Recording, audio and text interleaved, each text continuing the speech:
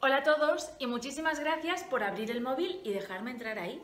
Yo soy Pilar Aranda, artista muse de teatro y audiovisual de la Fundación Yehudi Menuhin España. Antes del COVID podíais venir al cole y participar en la sesión de las familias que realizábamos cada año. De esa forma os podía explicar aquí, in situ, quién era Yehudi Menuhin, por qué pensaba que el arte podía transformar el mundo, cómo defendía que todos los niños son artistas o cuándo mandaba artistas de distintas disciplinas a los colegios. Pero ahora nos hemos tenido que reinventar. ¿Y qué es lo que se nos ha ocurrido?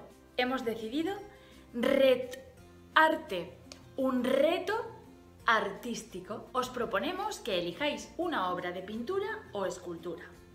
Hagáis esa representación en familia. Os retratéis y nos mandéis la fotografía diciendo el nombre de vuestra familia, qué obra habéis elegido y cuál es el autor. Os vamos a enseñar algunas de las fotografías que hemos podido hacer hoy en el cole para que lo tengáis mucho más fácil. El primer paso es elegir una obra de pintura.